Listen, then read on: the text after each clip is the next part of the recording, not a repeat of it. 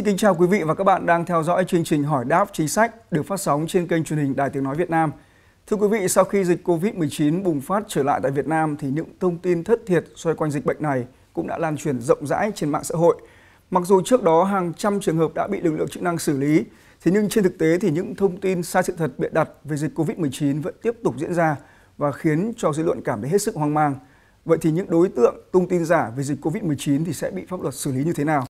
Và mời đến chương trình hỏi đáp chính sách ngày hôm nay, chúng tôi đã mời đến trường quay luật sư thạc sĩ Nguyễn Huy An, trưởng văn phòng luật sư Huy An, đoàn luật sư thành phố Hà Nội. Vâng, xin chào MC Hải Linh và xin chào quý vị khán giả. Rất cảm ơn anh đã dành thời gian trao đổi chương trình. Thưa quý vị, sau khi Đà Nẵng phát hiện ca nhiễm virus SARS-CoV-2 đầu tiên, thì ngay lập tức những thông tin sai sự thật về dịch COVID-19 đã tái bùng phát trên mạng xã hội. Những thông tin vô lý, không căn cứ, thậm chí là bịa đặt đã liên tục xuất hiện trên mạng xã hội và được chia sẻ với một tốc độ chóng mặt trong những ngày vừa qua. Có thông tin ở Đà Nẵng một ca chết rồi, nhiễm hơn 100 ca rồi, nghe nói mà không biết Sài Gòn có ai dính không nữa, không thì toang luôn.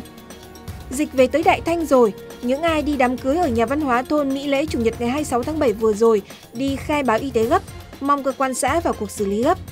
Phó Thủ tướng Vũ Đức Đam nói, nếu ai có ý định đi du lịch khi vé đang rẻ thì hãy suy nghĩ lại bằng sự thấu đáo của mình.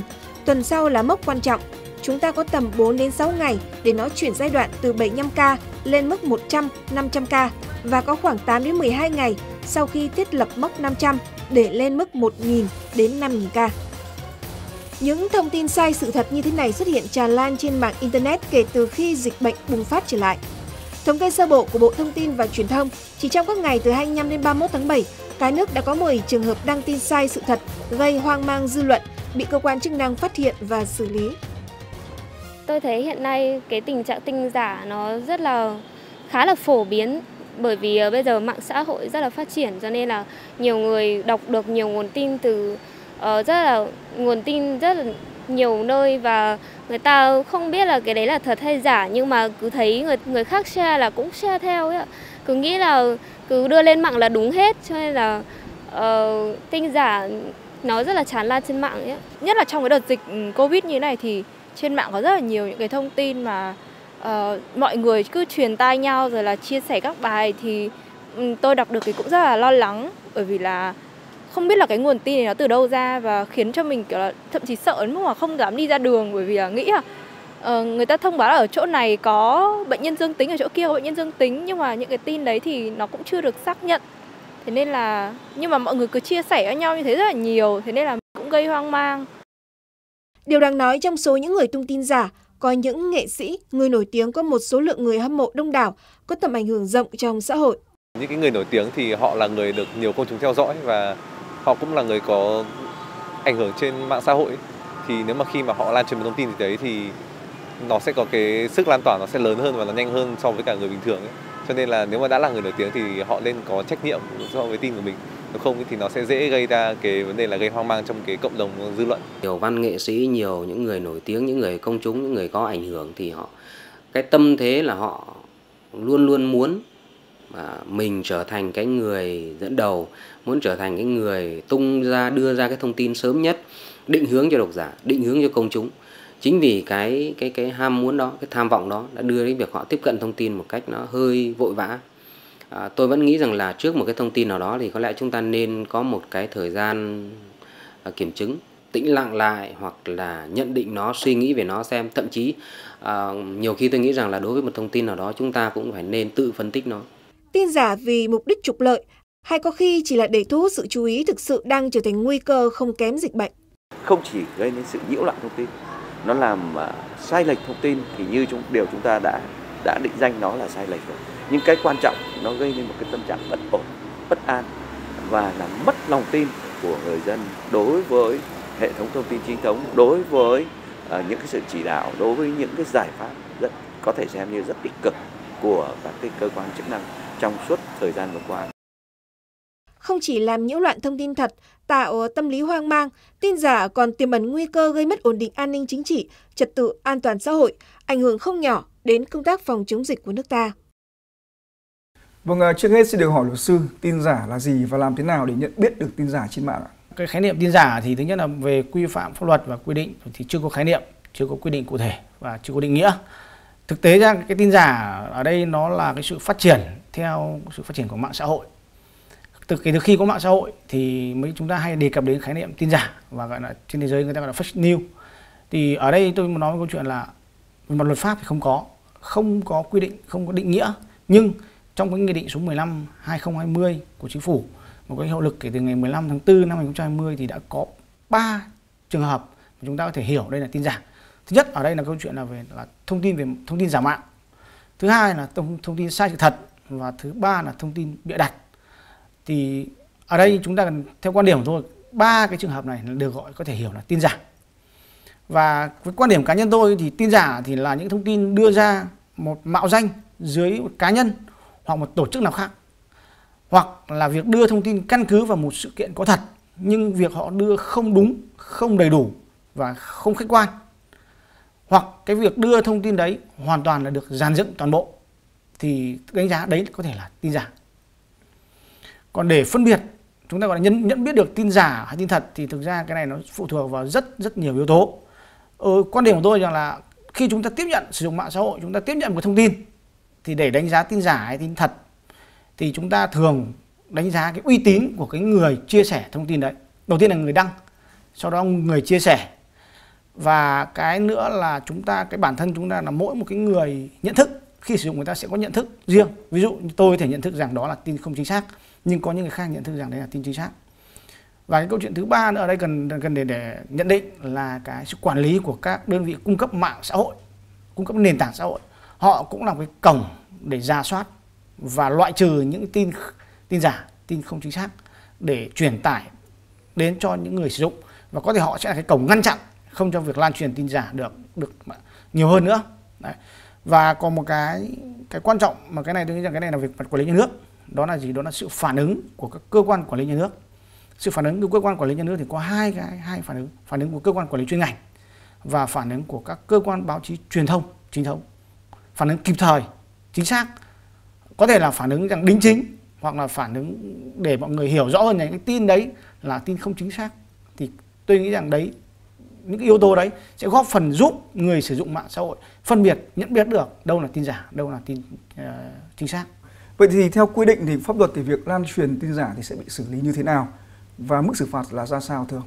Theo quy định pháp luật thì sẽ có ba ba cái hình thức. Thứ nhất là xử lý kỷ luật hai nữa là xử phạt vi phạm hành chính và ba mức cao nhất là truy cứu trách nhiệm hình sự. Và ngoài ba cái thứ ra thì còn có thể yêu cầu là bồi thường thiệt hại. Ừ, đối với văn bản quy phạm pháp luật thì có có các văn bản quy phạm pháp luật cho đây. Thứ nhất là bộ luật hình sự năm 2015 à, luật an, an ninh mạng số 24 năm 2018 và nghị định số 15 2020 ban hành mùng 3 tháng 2 năm 2020 và có hiệu lực ngày 15 tháng 4 năm 2020 là ba cái văn bản có giá trị pháp lý cao nhất về xử phạt đối với hành vi cung cấp, chia sẻ à, thông tin à, giả mạo, thông tin sai sự thật và thông tin bịa đặt. Vâng. À, chương trình của chúng tôi thì có nhận được à, thư của rất nhiều độc giả hỏi rằng là thời gian qua thì họ nhận được khá nhiều những thông tin chia sẻ về dịch Covid-19 từ bạn bè của họ và bạn bè của họ nói rằng đó là những thông tin nội bộ không được công bố. Sau đó chính họ lại tiếp tục lan truyền những thông tin như vậy đến người khác qua mạng xã hội, qua Zalo. Vậy thì việc lan truyền tin tức như vậy có bị xử phạt hay không ạ? ở đây tôi có khẳng định rằng nếu họ cung cấp chia gọi là chia sẻ những cái thông tin mà họ nhận được từ những người bạn cho người khác thì cái hành vi này là hoàn toàn có thể bị xử lý hành chính xử lý xử lý có thể kỷ luật hành chính hoặc hình sự tùy theo cái mức độ động cơ mục đích. Bởi vì sao? Đây là cái hành vi chia sẻ đã được quy định rõ trong cái nghị định số 15 2020 vâng. Vậy thì đối với những hành vi lợi dụng diễn biến phức tạp của dịch Covid-19 để đăng những thông tin sai sự thật câu like trên mạng xã hội trên Facebook thì sẽ bị xử phạt như thế nào thưa luật sư?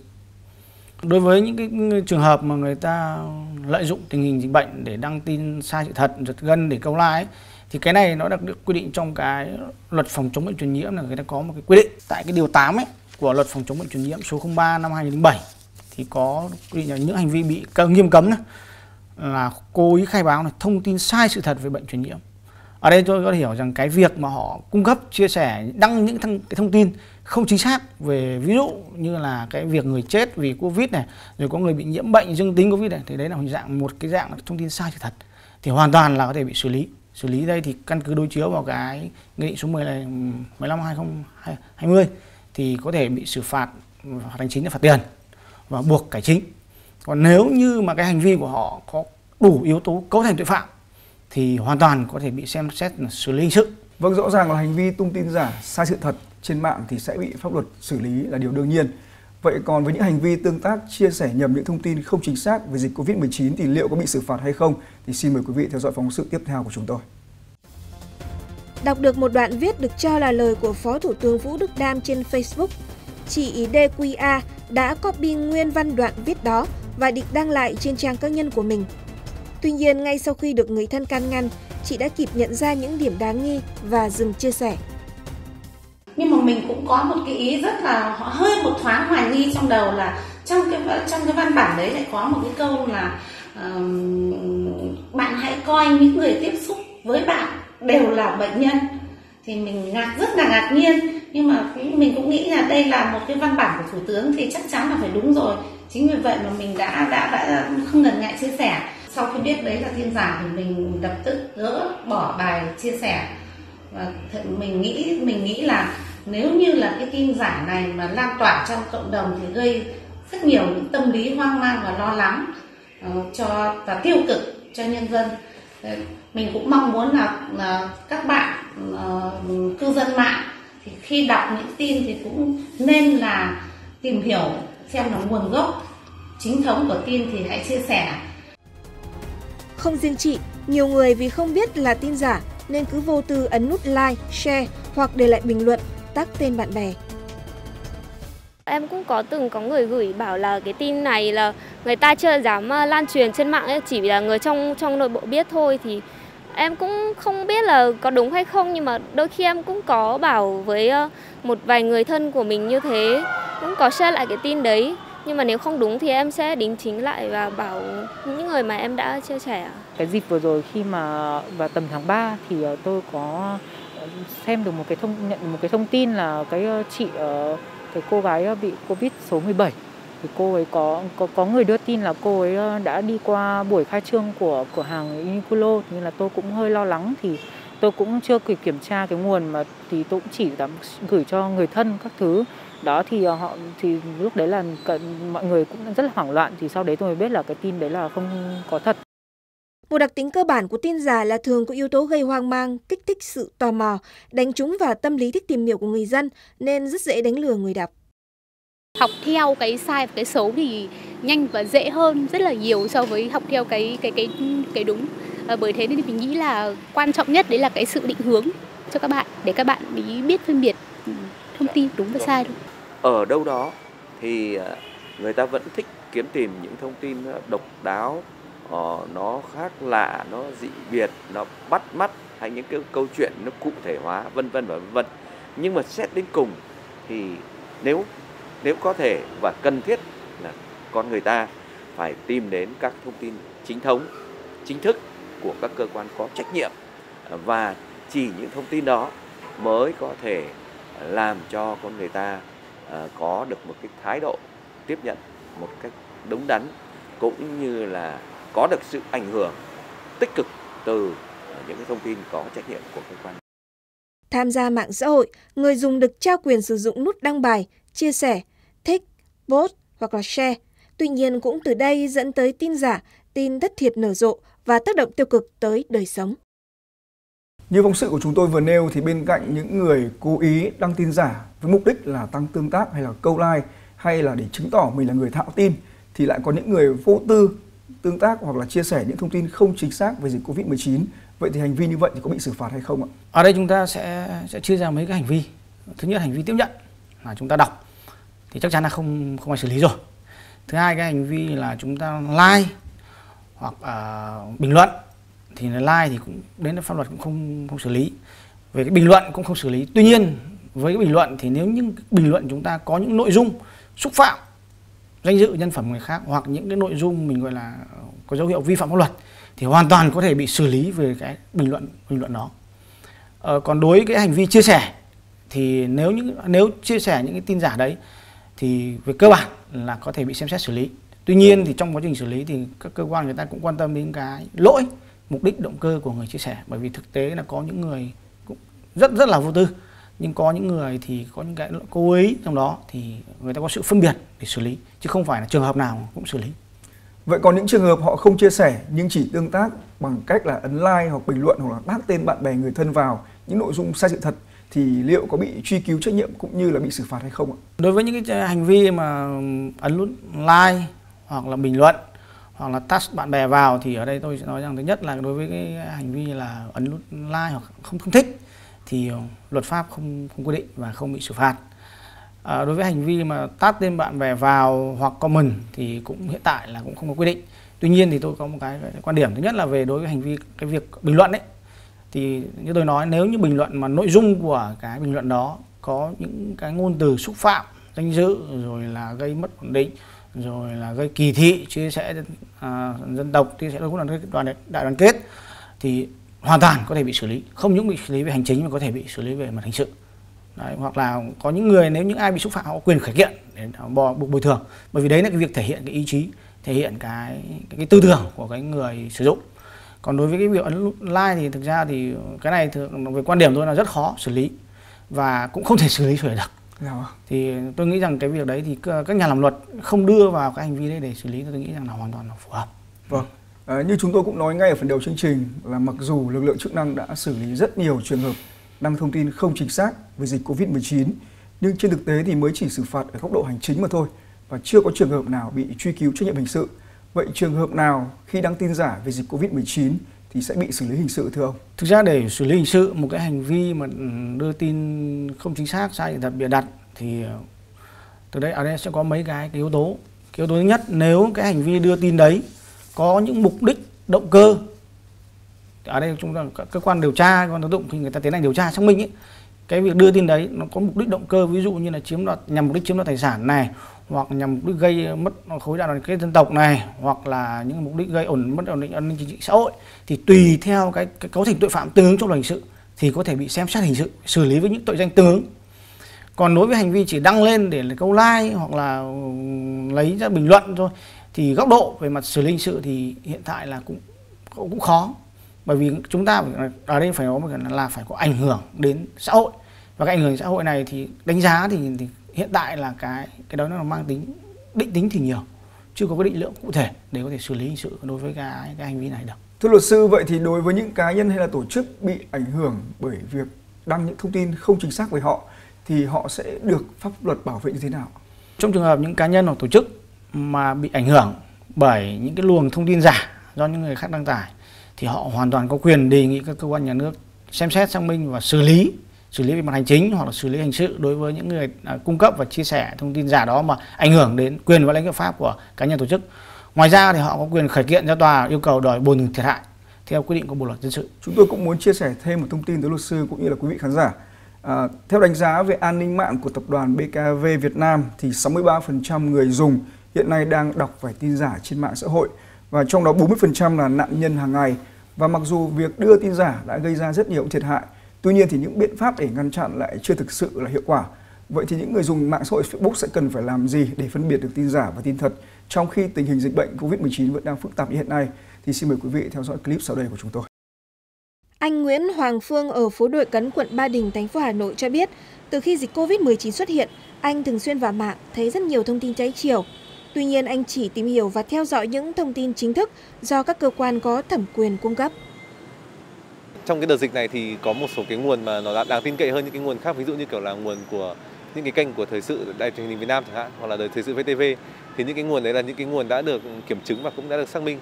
Còn những cái nguồn khác như kiểu là nguồn thường là những cái nguồn khác thì kiểu ở những cái trang mà nó không rõ ràng uy tín thì thường là mình sẽ không tin nhiều vào đấy. Ngoài việc tiếp cận những kênh thông tin chính thống, nhiều bạn trẻ cũng chủ động hơn trong việc cập nhật kiến thức, nâng cao hiểu biết và thực hiện trách nhiệm của công dân trong việc đăng tin, chia sẻ thông tin. Cập nhật thông tin là đúng, là chúng ta nên cập nhật thông tin trong cái thời buổi này. Tuy nhiên thì khi tự cập nhật chúng ta cũng nên ờ, có những cái hình thức chọn lọc phù hợp. Đặc biệt là chúng ta chỉ nên ờ, cập nhật thông tin từ những cái nguồn mà đảm bảo tin cậy. Còn những thông tin khác mà mọi người cảm thấy là không có đúng thì mọi người nên uh, lên án phê phán những cái người đưa tin giả đấy để uh, để chúng ta có thể có một cái môi trường mà nó có thông tin nó uh, đúng độ chính xác cao hơn. Mạng xã hội không có lỗi. lỗi nằm ở người sử dụng. Ngoài những cơ chế xử phạt thì điều quan trọng hơn cả là mỗi người cần phải tự trang bị một bộ lọc thông tin. Bộ Y tế là cơ quan chuyên môn để có thể đưa ra các cái thông tin khuyến cáo chính xác dưới góc độ khoa học về y tế. Do đó mà chúng ta không nên tin vào những cái trang tin không chính thức. Đối với mỗi quốc gia, mỗi nền văn hóa, mỗi cái không gian, thậm chí là nhỏ hơn là đến gia đình thì chúng ta cũng nên có cái sự kiểm soát từ cái nền tảng dân trí mà chúng ta có trong cộng đồng. Tôi vẫn nghĩ rằng là trước một cái thông tin nào đó thì có lẽ chúng ta nên có một cái thời gian à, kiểm chứng, à, à, tĩnh lặng lại hoặc là nhận định nó, suy nghĩ về nó xem. Thậm chí nhiều khi tôi nghĩ rằng là đối với một thông tin nào đó chúng ta cũng phải nên tự phân tích nó. Cập nhật thông tin từ những nguồn chính thống và nghĩ kỹ trước khi chia sẻ bất cứ thông tin nào trên mạng xã hội. Đó cũng là cách mà mỗi người có thể chung tay đẩy lùi dịch bệnh COVID-19 hiện nay. Thưa luật sư, theo quy định của pháp luật thì việc lan truyền những thông tin sai sự thật như thế nào thì sẽ bị xử phạt ạ? Ừ, theo quy định của pháp luật ấy, ở đây cụ thể là cái nghị định số 15 2020 thì uh, quy định xử phạt vi phạm hành chính trong lĩnh vực bưu chính viễn thông, tần số vô tuyến điện, công nghệ thông tin và giao diện điện tử thì tại cái điều 101 ấy, thì là vi phạm quy định về trách nhiệm sử dụng dịch vụ mạng xã hội thì đã có quy định rất là rõ rồi. Thứ nhất là đối với phạt tiền từ 10 triệu đến 20 triệu đồng đối với hành vi lợi dụng mạng xã hội để thực hiện một trong các hành vi sau. Ở đây đối với là hành vi là cung cấp, chia sẻ thông tin giả mạo, thông tin sai sự thật, xuyên tạc, vu khống, xúc phạm uy tín của cơ quan, tổ chức, danh dự nhân phẩm của cá nhân là bị xử phạt tiền về mặt hành chính. Thứ hai nữa là có hành vi là cung cấp, chia sẻ thông tin bịa đặt, gây hoang mang trong nhân dân, kích động bạo lực, tội ác, tệ nạn xã hội, đánh bạc hoặc phục phục vụ đánh bạc. Đấy là hai cái hành vi mà liên quan đến cái việc cung cấp và chia sẻ các thông tin mình gọi là chia sẻ thông tin giả mạo trên mạng xã hội là bị xử lý về mặt hành chính. Ờ, còn nếu có một mức độ cao hơn đó là về mặt truy cứu trách nhiệm hình sự thì tại điều 288 tội đưa hoặc sử dụng trái phép thông tin mạng máy tính viễn thông viễn thông thì mức phạt thì có thể là phạt tiền tối đa đến 1 tỷ đồng hoặc phạt tù đến 7 năm. Thì, uh, tuy nhiên thì trong quá trình xử phạt thì các cơ quan nhà nước luôn luôn có sự cân nhắc và điều tra xác minh làm rõ nếu hành vi có cấu thành tội phạm thì mới xem xét xử lý hình sự còn hành vi mới ở mức truy cứu về mặt hành chính thì sẽ xử phạt theo nghị định số 15 2020. Vâng, theo đánh giá của luật sư thì mức xử phạt như vậy đã đủ sức gian đe hay chưa? Bởi thực tế như chúng tôi đã chia sẻ là mặc dù đã xử lý rất nhiều trường hợp rồi, nhưng cái việc lan truyền những thông tin sai sự thật trên mạng, đặc biệt là về những thông tin không đúng về dịch Covid-19 thì vẫn diễn ra một cách tràn lan trên mạng xã hội. Theo quan điểm của tôi thì trong trường hợp đối với việc lợi dụng tình hình dịch bệnh mà để đưa ra những thông tin sai sự thật nhằm những mục đích cá nhân thì gây ra hoang mang xã hội thì quan điểm của tôi là nên coi đó một tình tiết tăng nặng để xử phạt có thể về mặt nặng hơn áp dụng những chế tài nặng hơn để gian đe cũng như góp phần làm trong sạch cái luồng thông tin để người sử dụng xã hội mạng xã hội cũng như cái cơ quan nhà nước có được cái, cái nhìn khách quan trong quá trình xử lý giải quyết những cái tình huống khẩn cấp như dịch bệnh hiện nay. Theo luật sư thì ờ, những người dùng mạng xã hội sẽ nên cần phải đọc những thông tin chính thống từ đâu? Thực ra với một không gian mạng rất là rộng lớn và rất là tự do thì ờ, đầu tiên chúng ta muốn tìm kiếm và xác minh được cái nguồn thông tin thì quan điểm của tôi là nên tìm kiếm những cái luồng thông tin từ các cơ quan quản lý nhà nước và những cơ quan quản lý chuyên ngành sau đó là những cái nguồn thông tin từ các cơ quan báo chí truyền thông chính thống ví dụ như ở chúng ta là có thể báo nhân dân ờ, là tiếng nói Việt Nam VOV hoặc thông tấn thông xã Việt Nam hoặc VTV đó là những cái kênh truyền thông truyền thành chính thống mà chúng khi tiếp nhận thông tin những cái luồng thông tin đấy hoặc những thông tin đấy là đều đã được kiểm chứng và đánh giá là chính xác và khách quan. Trước thực trạng thông tin nhiễu loạn về dịch bệnh như hiện nay thì luật sư có lời khuyên gì cho người dân hay không ạ? Trước cái việc mà thông tin trên mạng nhiễu loạn và thiếu kiểm chứng ấy, thì đối với cá nhân tôi tôi khuyên mọi người là trước khi chia sẻ, tương tác thì chúng ta nên tự kiểm chứng trước. Tự kiểm chứng trước thì có rất nhiều cách chúng ta trở thành những người sử dụng thông thái. Như tôi nói lúc trước ấy, đầu tiên chúng ta phải kiểm tra lại thông tin đấy dựa trên những nguồn chính thống. Ví dụ như trong đối với covid thì chúng ta có kênh truyền thông của bộ y tế là một kênh truyền thông chính thống nhất. Thứ hai đó là chúng ta sẽ đọc những cái luồng thông tin từ những báo chính thống của đảng và nhà nước. Ví dụ như báo nhân dân đấy, truyền hình việt nam truyền hình thông tấn xã và truyền hình UV, VOV đó là những cái kênh truyền thông mà để khẳng định rằng cái tính chính thống và khách quan. Khi chúng ta chia sẻ những thông tin đã được đảm bảo về mặt tính chính xác thì tôi quan điểm tôi đấy là sự hoàn toàn về mặt yên tâm về mặt pháp lý cũng như cái trách nhiệm của mỗi công dân. Vâng, hy vọng là qua những chia sẻ của luật sư trong chương trình hôm nay thì mọi người sẽ hiểu rằng là dù là vô tình hay là cố ý khi họ đăng những thông tin không đúng về dịch Covid-19 lên mạng xã hội hay bất kể một lĩnh vực nào khác thì đều có thể bị pháp luật xử lý và mọi người thì hãy có trách nhiệm hơn trong việc sử dụng mạng xã hội, đặc biệt là chia sẻ những cái thông tin liên quan đến dịch bệnh trong khi mà cả nước chúng ta đang đồng lòng chống dịch như hiện nay. À, nếu chúng ta chia sẻ những thông tin không chính xác rất có thể gây ra những ảnh hưởng những hậu quả mà chúng ta không ngờ được và rất cảm ơn luật sư đã dành thời gian trao đổi với chúng tôi trong ngày hôm nay. Thưa quý vị, trước thực trạng nhiễu loạn thông tin về dịch bệnh COVID-19 như hiện nay, thì bên cạnh quý vị tìm đến những nguồn thông tin chính thống để tìm hiểu và chia sẻ, thì chương trình cũng đưa ra một vài gợi ý để giúp quý vị nhận biết tin giả trên mạng xã hội. Xin mời quý vị cùng theo dõi. 1. Xem xét kỹ các tiêu đề. Những thông tin sai sự thật thường có tiêu đề hấp dẫn, Đặc biệt nếu những thông tin trong tiêu đề nghe có vẻ khó tin hoặc gây sốc thì nhiều khả năng đó chính là tin giả. 2. Hãy chú ý tới các đường dẫn, liên kết.